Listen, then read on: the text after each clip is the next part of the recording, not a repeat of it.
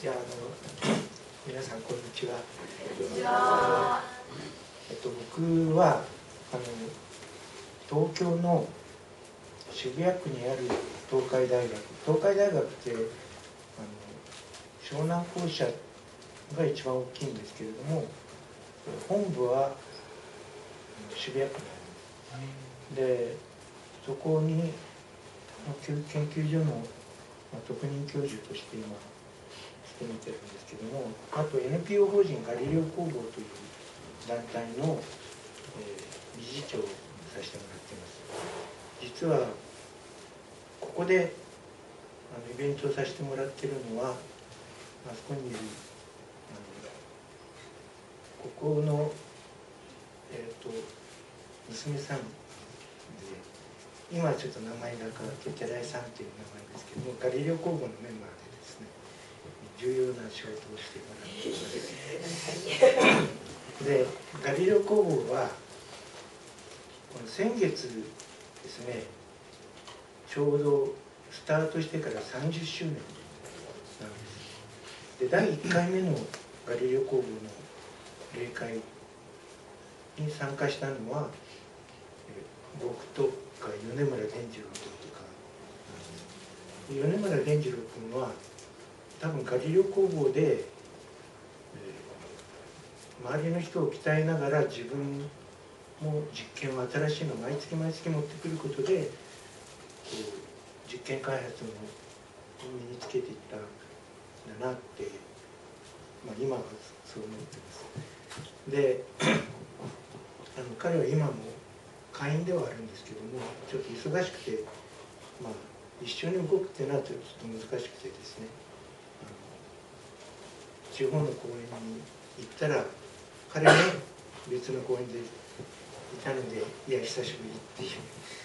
そういうようなことがあるんです。でで今日はですねあの、えっと、前の方には小学生の方もいるんですけれども、えー、一応話は大人向けです。6年生だったら分かるだろうっていう実験の中身はあの大人の子供に分かる内容ですけれどもこの青色発光ダイオードと地球の未来っていうその未来をどうやって僕らが地域をベースにそれから科学をベースにどうやって作っていくかということを考えていきたくてですねそれはまあ大人の方向けの話ではあるんですけれどももちろん子どもさんにも聞いてもらってこれから自分たちがどうやって未来を作っていくのかを考えてもらえるといいなと思います。で一番最初はですね 今日の大きなテーマは光なんです。であの去年もノーベル賞2人もらったんですけれどもその一昨年ですね赤崎さん天野さん中村修一さんの3人が青色発光ダイオードでノーベル賞をもらいました、まあ、それにちなんだ話にでなんでこの研究がノーベル賞なんだというのが、まあ、分かっていただければいいかなと思います。で、えっと、去年の大村さんと梶田さんはあの2人とも地方大学ですよね。で実は僕も出身は埼玉大学の物理学科で梶田さんと同じ物理学科なので梶田さんは僕の後輩になりますそれから、えっと、数年前に僕は東大に勤めてましてその時梶田さんに勤めてるので一応同僚でもあるんです。いろんな人と同僚です。ああの湯川先生とも同僚なんです。えっとで光の研究のですねスタートは、えー、ニュートンという科学者が実はかなり掘り下げて研究しました。でニュートンというのは多分皆さんは物理学者だっていうことは知っているんじゃないかと思うんですけども万有引力を見つけたとかですね。そうそれは聞いたことがあると思うんですけども実は、まあ、もし今ノーベル賞あこの時代のノーベル賞があったらノーベル賞をいくつかもらってる。でも同じ年に実は3つ全く新しい研究をしてその一つがこの光の研究なんです。でこれとねすごく同じような人がいるんです、えー、1年間に3つですねノーベル賞をもらうような研究した人、本当にノーベル賞もらったんですけれどもその人は後で出てきます。多分名前知ってると思います。アインシュタインですでこのニュートンのですね光の研究というのはまあ白い光というのはですねここの電球とかですねこういうのは、まあ、白色光と言われていてですねだから光太陽の光なんかもともと白いんだってみんな思ってたんですけれどもニュートンはそれは実は、えー、いろんな色が混ざって白になっている。というのを研究して明らかにしてさらにですね一度分けたのをまた集めると白になるということもニュートンは調べてるんです。まあ、ニュートンの生まれたで育った家のに行ったことがありますけれどもあの三角形のガラスのプリズムっていうのが置いてあってですね太陽の光がその中に入ってきて虹を作るとかそういうのをやってたで、まあ、一方ではその庭にはリンゴがあります、うん、ただニュートンの時代のリンゴは結構ちっちゃかったそうですね。であらちょっとですねこのプロジェクターは赤が出てないのは途中のケーブルのが原因なのかもわからないんですけれどもちょっとさっきから赤が出ない。なまあ。えー、っとですねこの黒いところが実は赤で黄色いところが緑な。それでまああの、えー、でもこれはただ、えー、コンピューター上に塗ったやつを投影しているだけなのでですねこれから皆さんにこれ本本当にまあ光の三原色を混ぜるだけで白になるかどうかというのを見てもらおうと思います。で、えーと、こうやってですねもしできたら少し暗くしていただくはいそうですね。で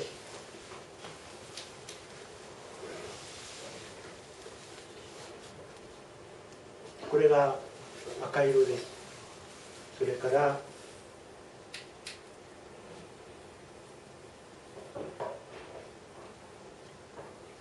えっと 赤と緑を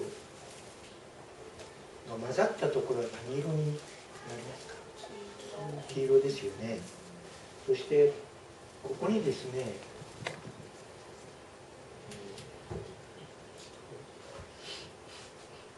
青を持ってきます。これが本当に白になるかどうか。白ですよね。でこの白さ加減というのは、まあ、この距離を変えて近づけたりする中でまあ、より白く見えるところっていうのが出てくるのでですね、まあ、これはあの実際の白を作るっていう時も赤っぽい白とかそれから青っぽい白とか青っぽい白はちょっと冷たい感じです、まあ、そういうふうなのをまあ色彩学で、まあ、肉が美味しく見える白とかですねそういうのはこういうこの強さで、えー、調べてでまた明かりをつけていただいてそしてですね今度は皆さんに、えー、3色で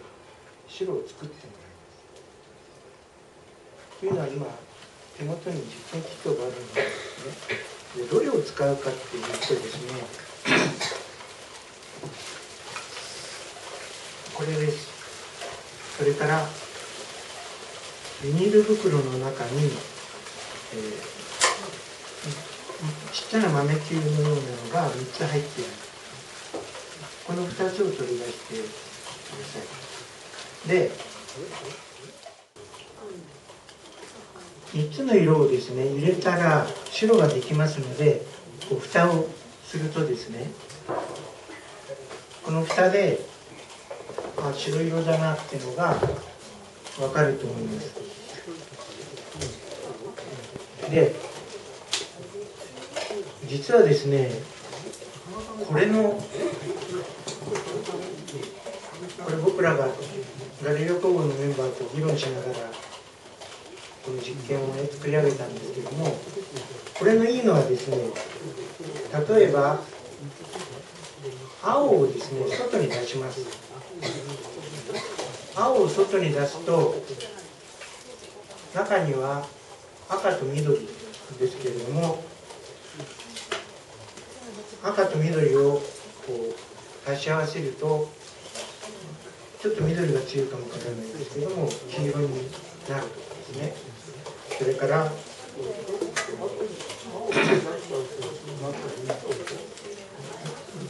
2色を自分で混ぜることが簡単にできるんです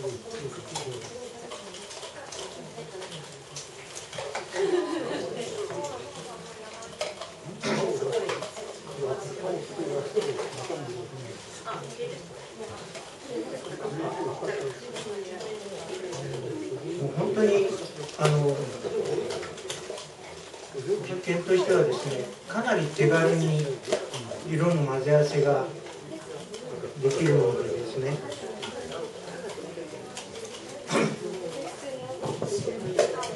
しかもですね実際に電池をですね持って帰るのに電池って裸で置いとくと端っこでですね電流が流れて電池が全部消耗してしまったり場合によってはパンクしたりするんですけどもこれ引き抜いてぶら下げるだけで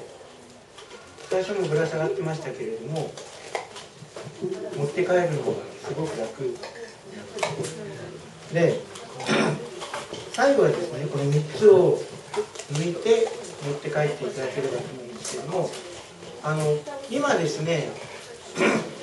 今皆さんがいろんな色をつけているのはですねちょっと一瞬だけ暗くして持ち上げていただくはい、いろんな色があるのがですねちょっと見えると思うんですけれども。はい。白になったりピンクになったりですね黄色だったり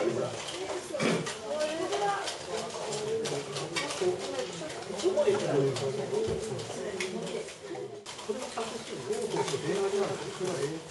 日はまだ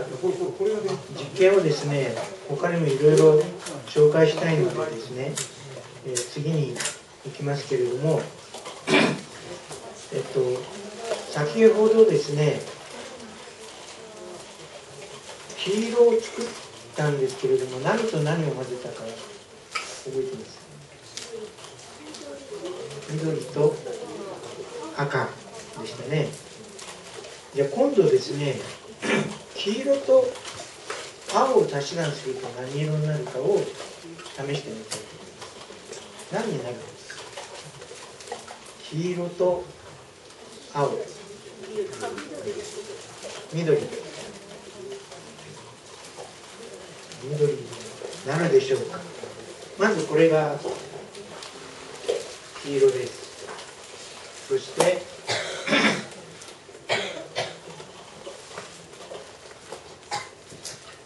でいいですか？いきます。はい。白ですね。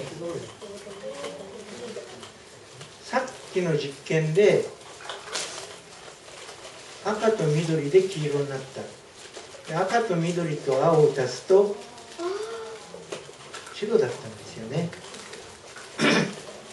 だから黄色でも白が作れる。で実はですねこの黄色で白を作るというのが 今ですね、えー実際の LED の白というのはそうやって作られています。今ですねここにはちょっと眩しいんですけども LED の白色。これ LED なんです。でこれを実はたまたまですね壊してしまいまして。でこれが本当はここにこうプラスチックがあるんですけれどもそれをですねちょっと見ていただくのにですねこれ何色でしょうか、うん、これはね実は見た目黄色ですよね。で黄色に塗ってあるんです。でもこの黄色はね何で塗ってあるかっていうと蛍光ペンの中に入っている蛍光物質です。で青色の光を当てるんです。そうすると蛍光物質なので光を出すんですけど黄色の光を出します。ところが下から青色を当てるとですね今度青と黄色が混ざるんです。で青と黄色が混ざってこの白に。ただしこの白はちょっと冷たい感じの白です。後で見てもらいますけれども青が強いんです。だから冬場このなんかクリスマスツリーのようなのがこう、えっと、街の中にいっぱいいろんなところにあるんですけども昔の豆電球は暖かかったのになんかこの冬なのにあの寒さはないんじゃないかって思いません？実は LED であったかいのは作れるんですけどもお金がかかります。ですから、まあ、安く作ってるために青が強いですね。ということで、えーまあ、皆さんにはですね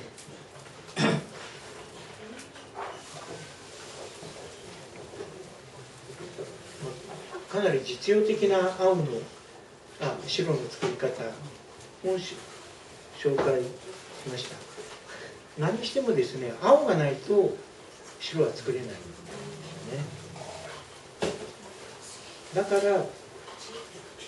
ーベル賞だったんです青が一番作るのが難しかったそれをこの日本人がですね本当に世界に先駆けて作れるようになったのがこれの効果はまた後で紹介しますけどすごい効果が今あります。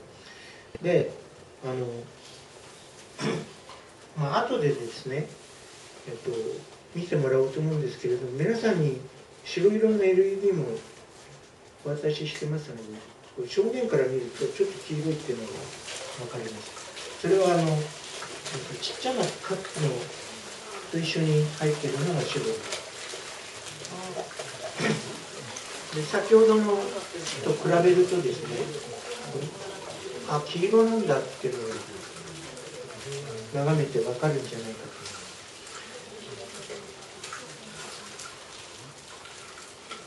で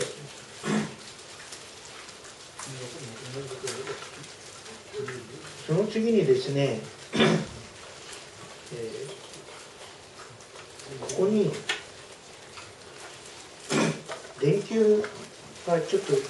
いろいろここには並んでるんですけどもまずは白熱電球っていうのを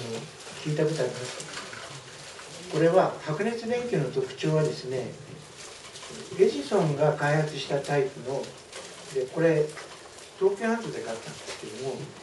まあ、エジソンが作ったののイミテーションとして売られてでこの中にこうふにゃっと曲がっ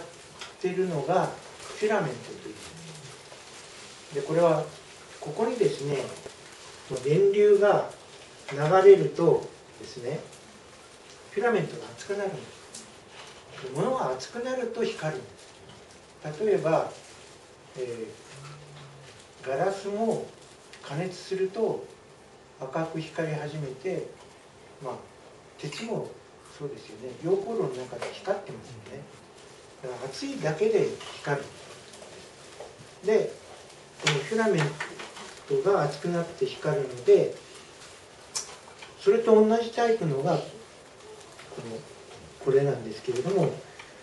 えー、特徴はですね熱いんです。でこのまずはこれをですね見ていただいてでもですね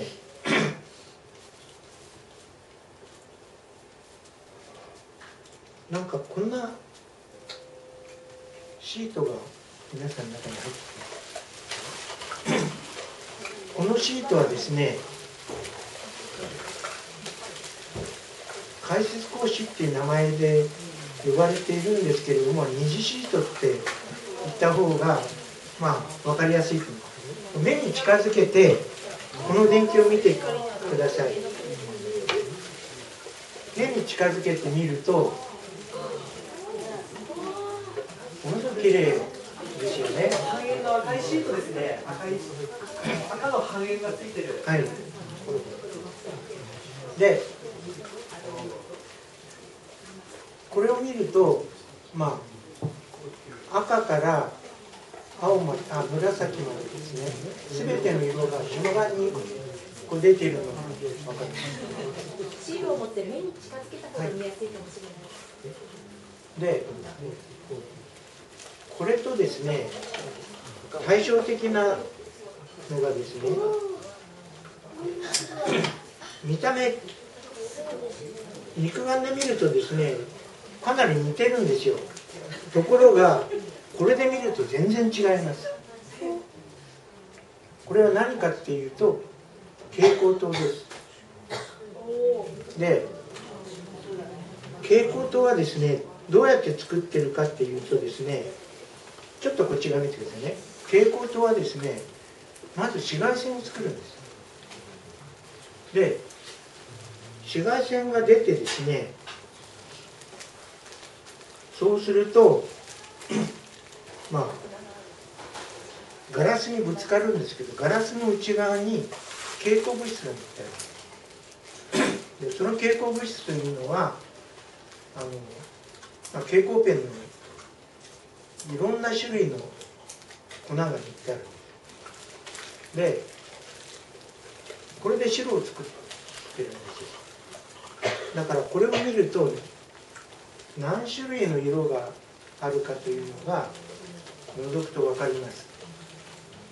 覗いてみてください。まん丸のがいくつあるかでですね。5つ5つぐらいありますよね。でこれは、まあ、本当はですね蛍光灯も売られているのがですねお肉が美味しく見えるのか勉強する時にちょうどいい白なのかこれあのメーカーによってちょっとずつ入れ方が違うんですよ。だから企業秘密に属することなんですけども皆さんはこうやって覗いたらその秘密が分かっちゃうんですね。で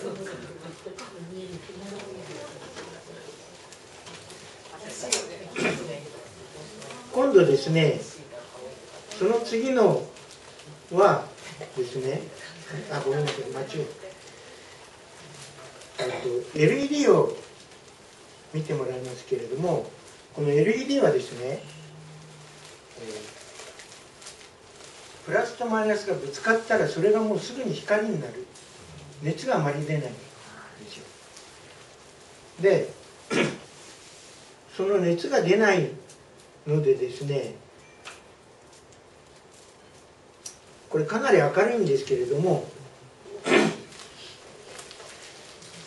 これとそれからですねこれと比べてはい。比べてみてください。多分ですね見て違いがわかると思うんですけれどもこっちは青が強いです。青が長くないですか、ね、青が長いだから冷たい感じなんです LED は冷たい感じ。LED の白が冷たい感じっていうのは青が強いからですね。でこれは黄色と青を足し算してて黄色は実は結構複雑な色なのであの蛍光灯とはちょっと違うむしろ白熱電球に近い光り方ですけれどもでも違いが分かるんじゃないかと思います。で、まあ、今明るさ、まあ、ちょっとこれが明るかったんですけれどもこのですねこの明るさが100ワットですで、えー、この蛍光灯が25ワットですかなり省エネですよねでも LED はこれ12ワットですだからなんで LED はエネルギーを使わなくて明るく光るかっていうと熱を出さないから。無駄がないんですよ。欲しい光だけを出している。でこれはすごくいいんですけれども、えー、去年、えーと去年春に北海道に来て、えー、北海道の先生と「いいんですよ」って僕は言ったらいやその冬にですね、えー、信号機が LED になってそれで雪が溶けないんですよそうか。昔は溶けてたんですよ。溶けなくなった。まあ意外とこう弱点もあるんだなって。まあそれもまた工夫次第でなんとかなるのかもしれませんけれども。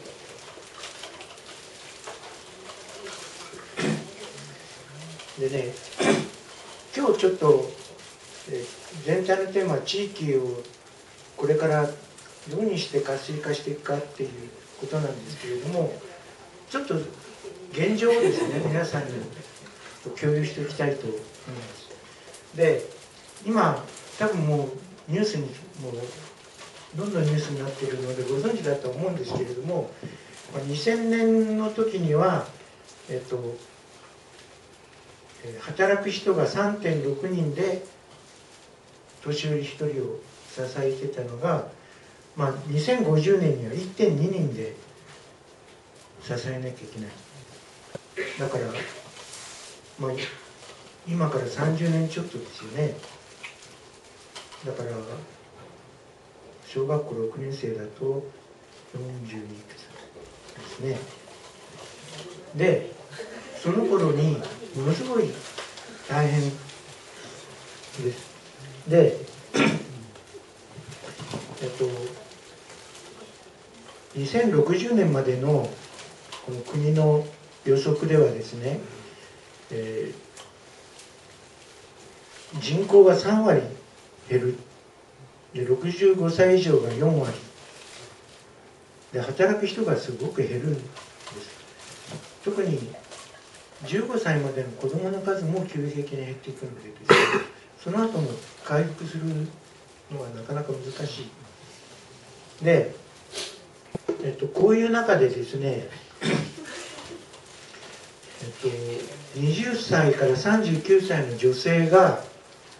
減ってしまってこう自治体として成り立たなくなる。子供子供あの若い女性がいないってことは子供を産まないってことですからその消滅してしまう自治体っていうのがこれから出てくると言われています。でこれはですねちょっとこあの一番こうワースト10を並べたんですけども黄色は北海道です。ですから北海道が一番この、まあ、大変な事態になるだろうというのです。そして、まあ、でも札幌は人口が増えてるんですよ。だから皆さん安心しているかも分かりませんけれども北海道のですね全体で150の自治体が消滅可能性のリストに入ってまして札幌市ではですね南区と,、えーと、神戸区はい？厚別ごめんなさい。ちょっとなかなか読めない北海道の地域は難しいです。で、えーこの2つだけなんですけども札幌市内でですね。でも、まあ、かなり大変なんです。しかもですね、まあ、これから今は増えている都市部の、まあ、札幌とかですね、まあ、東京なんかもですねこれから20年30年経っていくとですね高齢化がすごく厳しくなってですね、まあ、都市の機能としてすごく今度難しい問題を抱えるようになります。でこれをどういうふうに対応していくかというのがこれはあの今日大人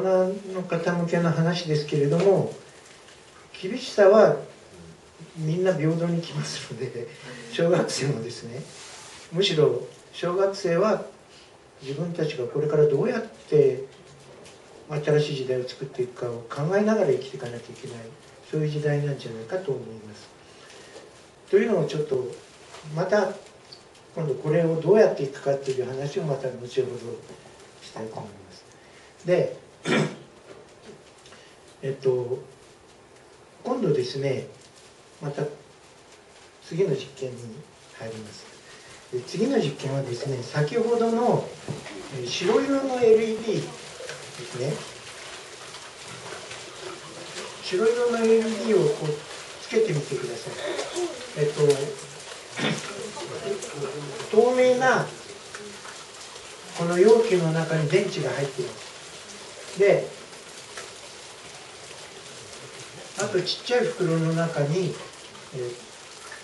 ー、1個だけ LED が入っている。でこれでつければですねすぐにつくと思います。でこれをつけたらですね今確認したいのはこの LED のですねマイナスだけまずこうマイナスを押し付けてですねでプラスのところをですねあ長い足をですね手で持ってもこれ光らないですよね。本当は人間人間の体の中を電気がちょっとは通ってるんですけれどもこれでは通らないっていうのをまず確認します。人間の体の中電気は全く通らないわけではなくてほんのちょっと通るのでですね今は1.5ボルトのあすみません3ボルトの電池を使ってますけれども100ボルトの100ボルトのこの家庭の電源なんかに触ってしまうと人間の体の中を電気が流れてですね結構大変なんですでこれもほんのちょっとは流れるんですけれどもまあ今はね明かりをつけるほどではないんです。ところがですねトランジスタを使うと流れるようになります。でどうやってやるかというのを先にあのトランジスタってこの黒い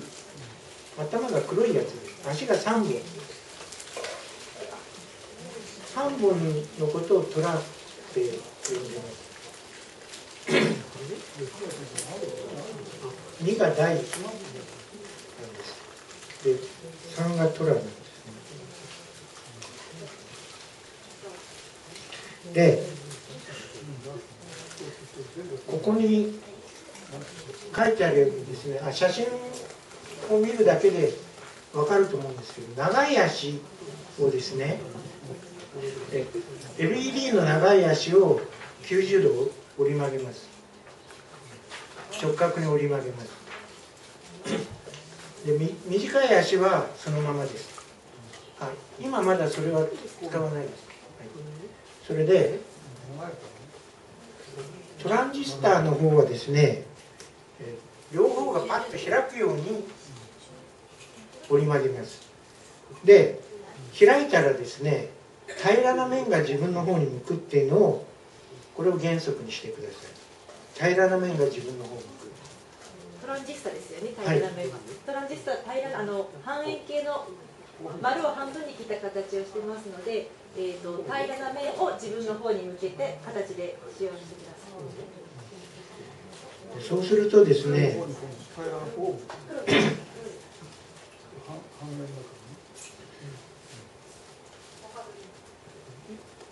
まずここまでできたらですね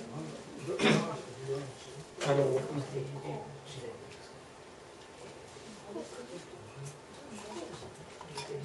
LED のマイナスの足と短い足とですねトランジスタの真ん中の足をねじってですねでねじったら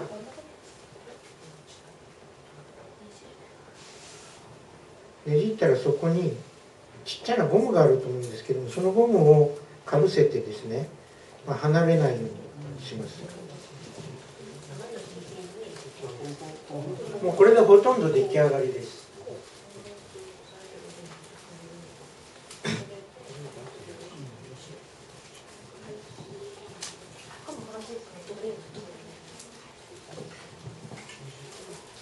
れで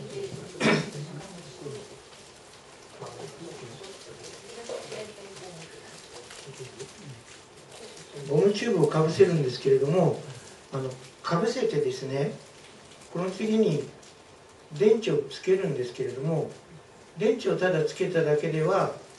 光らないんですけども反対側の今これの写真だと上に出てるところを手で持つと人間の体に流れた電気がこの100倍に増やされて増やすことを増幅と言います、まあ、英語では amplifier っていうのであのスピーカーの前にアンプが必要だとかですねアンプっていうので使われて日本日本語として使われています。で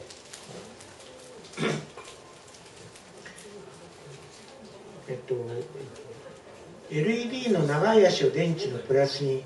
トランジスタの左側の足を左側っていうのは平らな面を自分の方に向けて左側ですそうするとマイナスに当てて指で押さえてですね。そして反対側を触ると光ります。でうまく光らない時は多分ですねこの3本のトランジスタの足のどこかにですねあの LED の足がこう本当はくっついちゃいけないところがくっついてることがあるので向きを変えたりしてでこれ触るとですね光るっていうふうにしてみてください。ね。何もしないでも光ってるのは多分どっかで接触しちゃってます。触った時だけ光るですね。並んでください。ちょちょっと並んでくれますか？今作ったのをですねこれ僕がここを触ると光るの分かりますよね。でちょっと手をつないで隣の人と手をつないでまた手をつないでそしてここを持ってください。この3人をずっとね電気が流れてるんですでこれをほんのちょっとなんですよ流れてるところがこれ手離すと消えますよね。だからこの電池のエネルギーはもちろん使ってるんですけどトランジスタっていうのはほんのちょっとの電流を100倍ぐらいに大きくするという仕事をしてくれてる。はい、どうもありがとうございます。で、ごめんなさい、これ短い。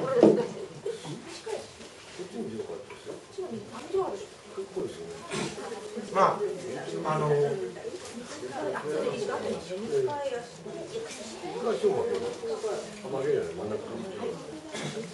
この順番もやり方はですねこの順番でうまくいかなかったらば、まあ、電池のプラスマイナスを間違えているか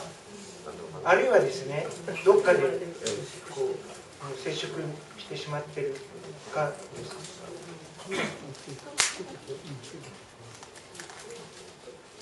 でこのですねトランジスタを使った装置というのは実は皆さんの身の回りに結構たくさんあります。であのエレベーターで強く押さなくてもほんのちょっと触っただけでももう動作してしまうエレベーターがあって僕はそのエレベーターに乗った時は持ってるものでプラスチックとかですね。で強く押してみる。ダメなんです動かない。圧力ではなくて人間の体をね流れるわずかの電気をトランジスタで増やしてスイッチにしてる。これがですねあのこういうのが今ものすごくたくさん身の回りにあります。で 今その実際にコンピューターの中ではですねトランジスタっていうのとダイオードこれは半導体なんです。それからコンデンサーっていう、まあ、電気を貯めるもの。貯めるっていうのがコンデンスっていう抵抗、まあ、電気の流れるのを邪魔するこれで例えば携帯携帯電話とかですねスマートフォンとかのこのあそこの一番下の黒い集積回路って書いてあるあの黒いところに今の部品がいっぱい詰め込まれています。いくらぐらい詰め込まれているか聞いたことあります？実は今は1000万個ぐらいです。あのちっちゃい中に1000万個でその人類が最初に月に、ね、ロケットを打ち上げた時に使ったコンピューターよりもものすごい性能がいい。そういう時代になったためにですねコンピューターが使われるようになってから情報まあ誰もが共有できるとかですねあるいはものすごくたくさんの情報を一度に集めて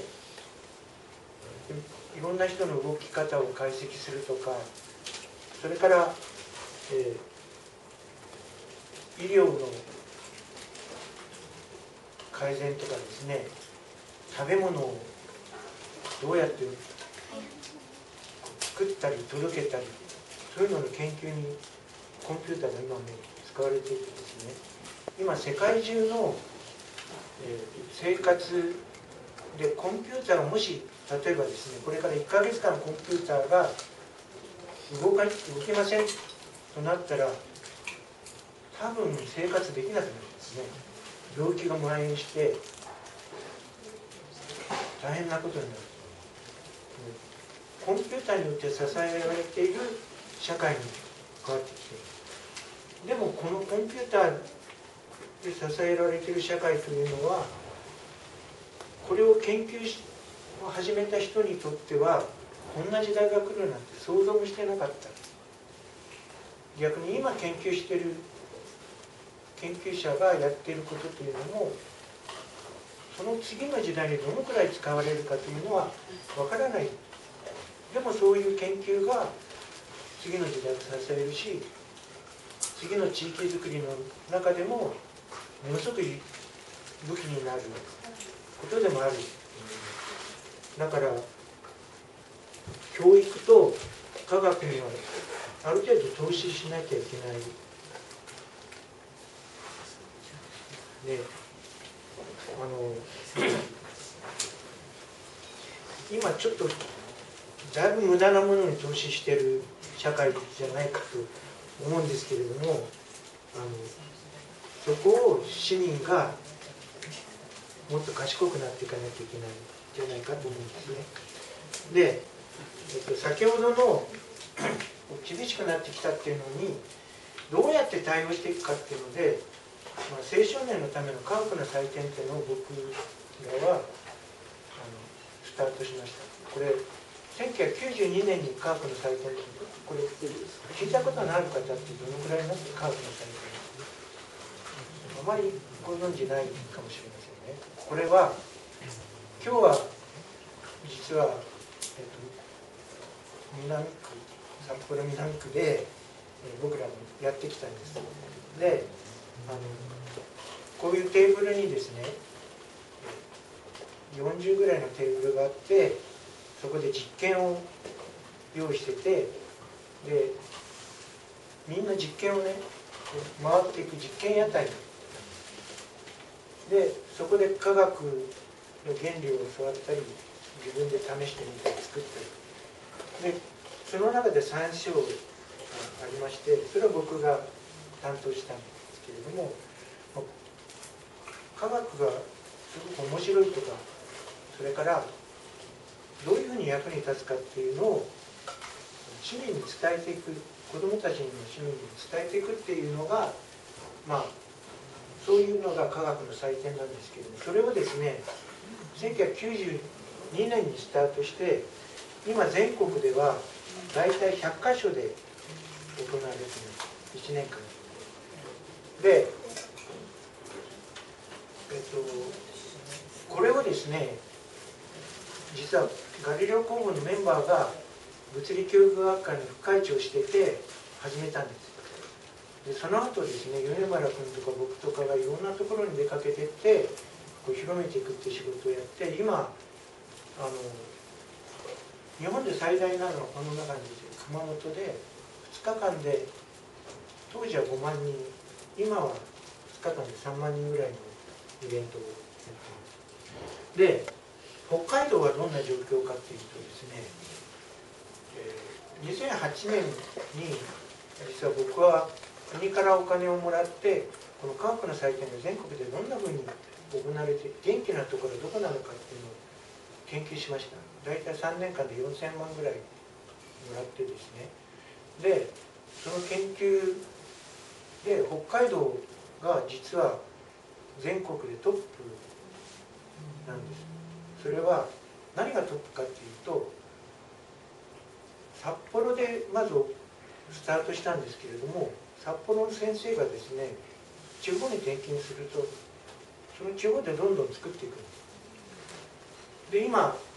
えっと、その時は23だったんです。けど今30ぐらいの会場で北海道の中で。で全国で100ですから、まあ、圧倒的に北海道の数が多い。んですだからこれはねすごいことなんだと思う。今もう北海道の中にこれからこう科学を育てていくベースはあるんだけどもそのベースをですねみんなで育てていくっていうのはまだ十分できてない。で僕はですねこの研究をして小金井で東京の小金井市というところで科学の祭典というのを始めてですね今は、まあ、去去年の10月に行ったのは1日だけで大体1万人の参加です。でそれ以外にですねちょっとこ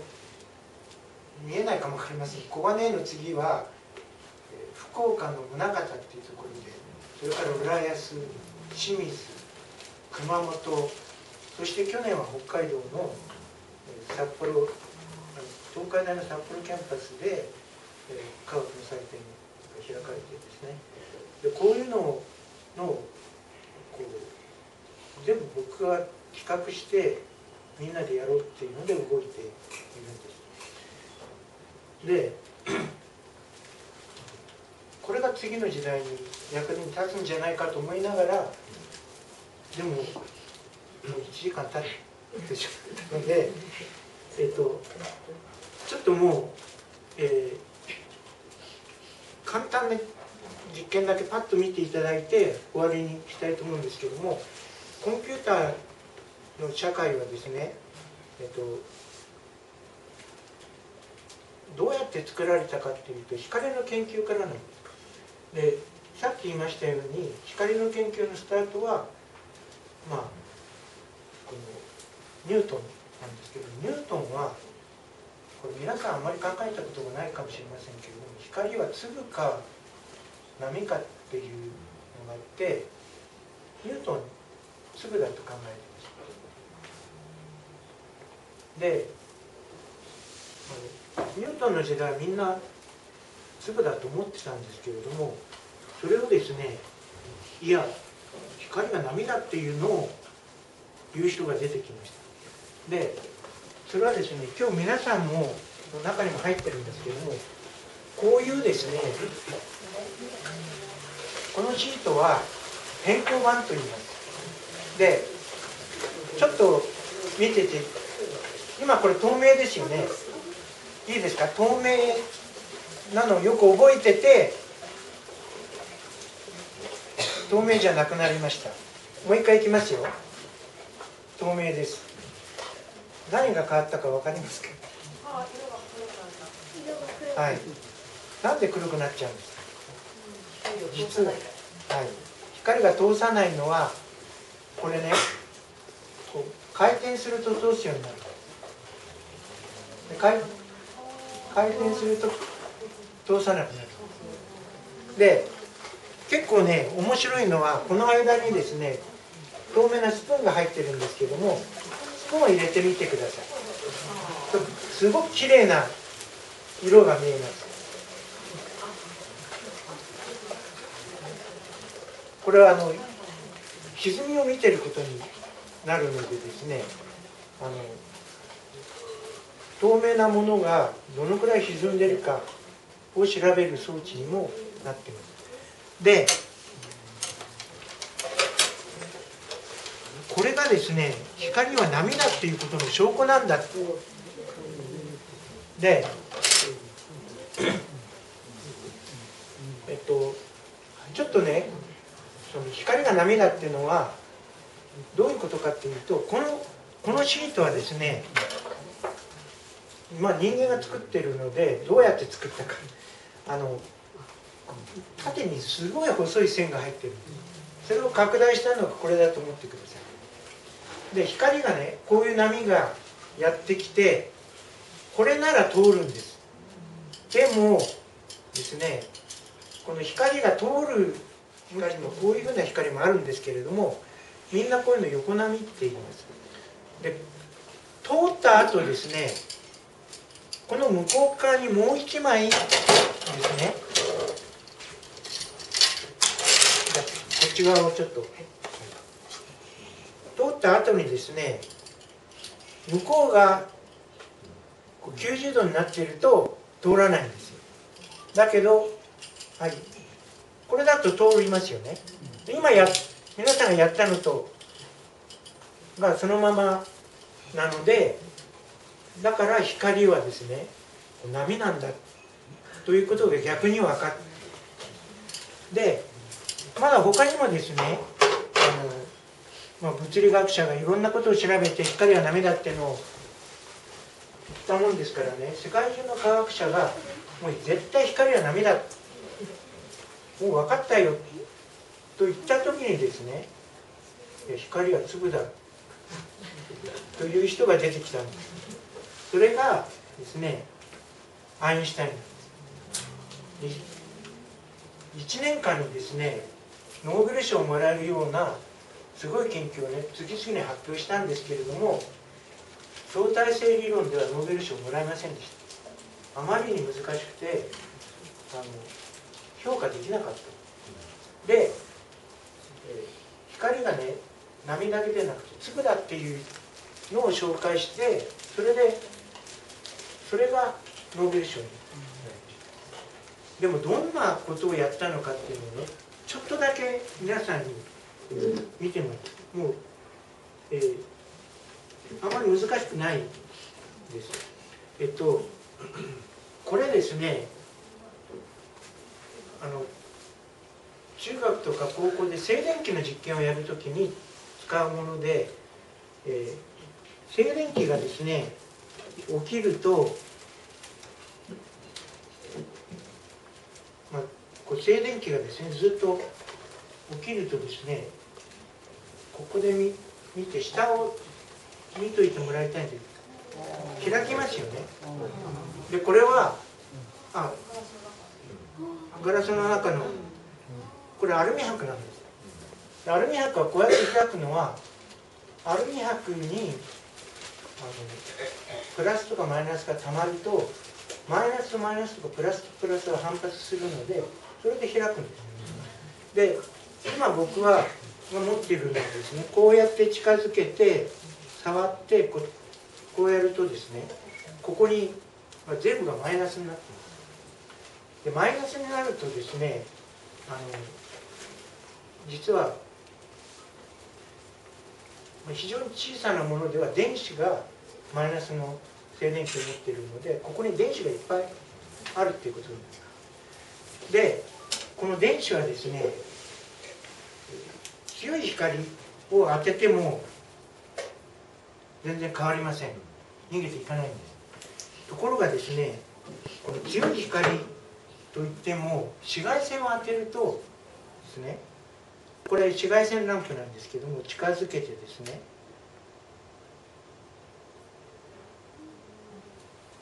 今だんだん閉じてきています。で紫外線を当てると閉じるっていうのがですねこのアインシュタインが研究したことでこれを説明できてノーベル賞になりました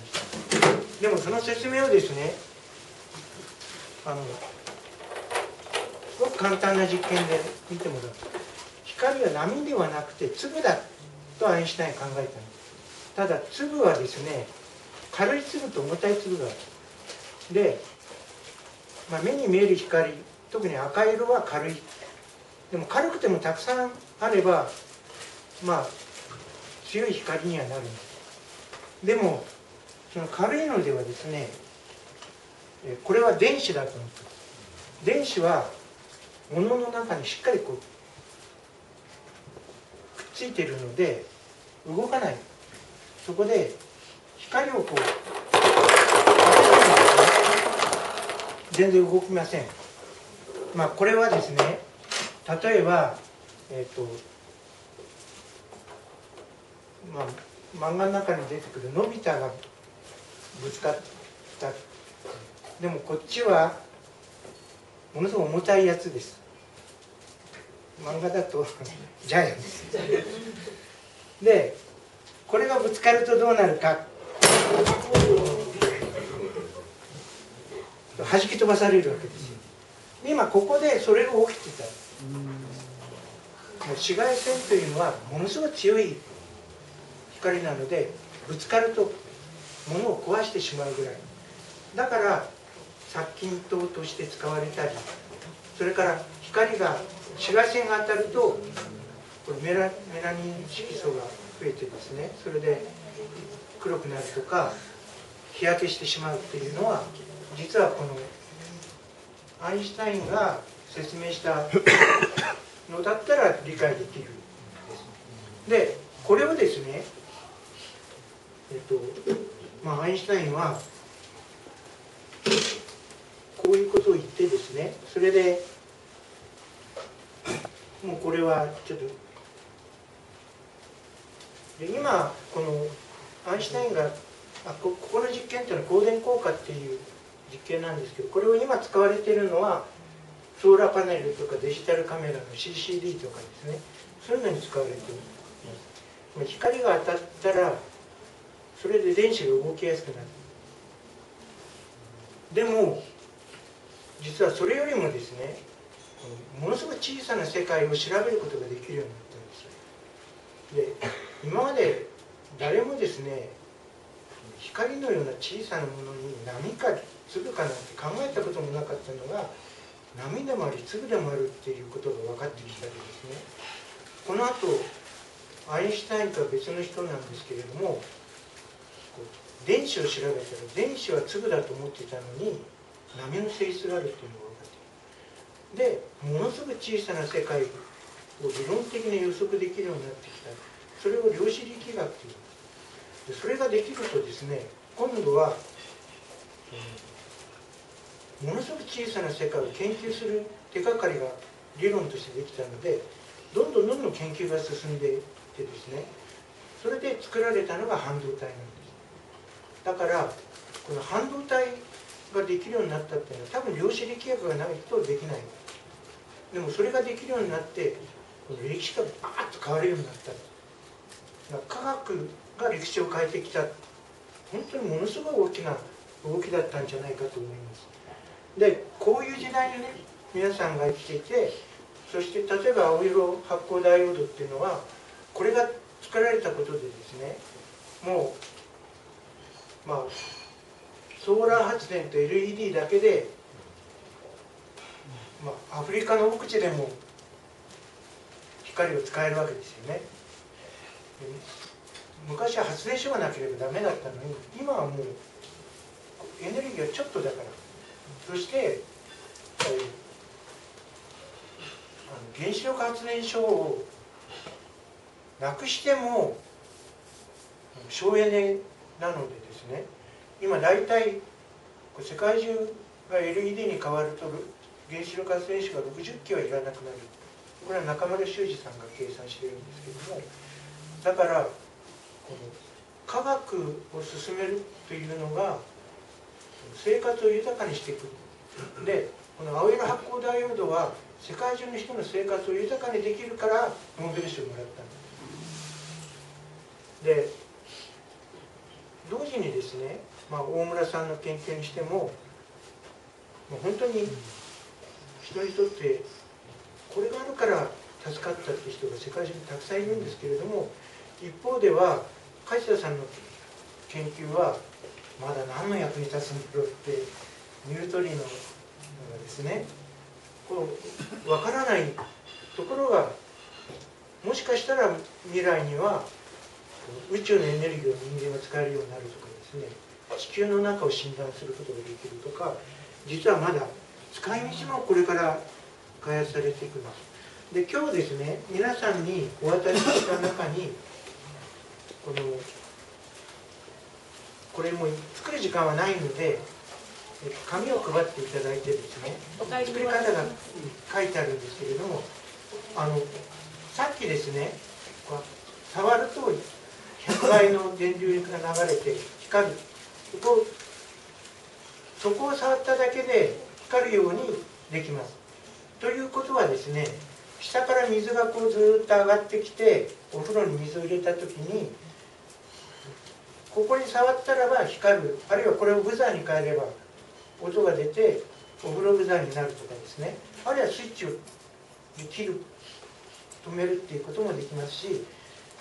これを逆さにして置いといたりこうやって置いといてここにティッシュペーパーでも置いとけば雨が降ってきたら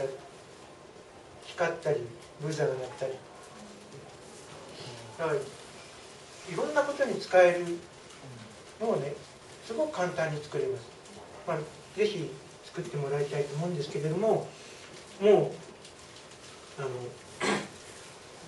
僕はですねえっと少子高齢化の時代にですねあのなんで全国いろんなところで科学のイベントを作ってるかっていうとまあ日本の未来にすごく危機感を持ってるから。であの日本の中にですね世界と競争できる地域を作っていく。これはですねどんな地域も競争相手は日本じゃないんですよ。日本の都市が競争相手ではなくてアジアとかヨーロッパとかですねもうこれからはアフリカとか南米とかそういったところとの競争すごい厳しい競争だと思います。でもそこに打ち勝つだけの地域が作れなければその地域もダメになるし日本もダメになる。でできたらですね地域を良くするためには一つは人材。本当に有能な人がその地域に残って地域を良くしていこうとしなきゃダメなんじゃないかと思います。地域が良くなるでそのためにはですねそして、まあ、ももう一つはねでも世界と競争して経済的にある程度生き残っていくためにはいい企業がないといけないと思いますもちろん観光で生き残るっていう手もありますけれども企業とか観光とかですね。でもそういうののベースのなベースの一つには絶対科学があります。で科学で本当に面白いと思って取り組むことができる人は多分同時にその地域の次の時代の人材にもなっていく。でそれを育てたい。でどうやって育てるかこれは教育者が頑張ればいいんではなくて地域の人がみんなで連携して子どもたちの環境を作る。それから企業がすごくいい企業はその企業の中身をみんなに紹介する。それができないと北海道にどんなにいい企業があってもそれを知らなければもう北海道に残ろうって思わないですよ。でも夢のある企業があるならば自分もそこで挑戦してみよう。あるいは一旦東京に行ったけれども戻ってこい今大変なのは戻ってきたいけど戻ってくる。企業が見当たらないように見えるからなんでもそれは多分皆さんの周りにもあるんです優れた企業。だからそれが表に出るようなことを科学の祭典を通じていろんな企業のねいい面を表に出していくってこともやっていきたいなでもちろん財政面で逆にその企業はですね自分たちの未来の人材を確保するためには企業もお金を出して人材を育てるっていう仕事を一緒にやっていかなきゃいけない。で地域ぐるみでみんなで新しい時代を作っていくっていうことがねできないかなと思ってます。で、まあ、一番最後にですね、まあ、今、えっと、東海大のあの読む先生あのそこにいらっしゃるんですけども、まあ、一緒にですね、えっと、科学の祭典で北海道全部を元気に今30あるのをですね。これをもっと元気にするので、まあ、ドーム球場で科学イベントができるようにならないかっていうのを今目標にして動き始めてます。であのそこでたくさんの企業とてそれからあの知事とか市長とかそういう人もみんな協力してで新しい時代をねみんなで切り開いていく。でその地域の教育はやっぱり教育者が頑張らなきゃいけないしお父さんお母さんもそれから子供も頑張らなきゃいけないんですそれをみんなで支援していくシステムを作り上げていこう、まあ、そういうのの動きを作りたいと思ってでもそれを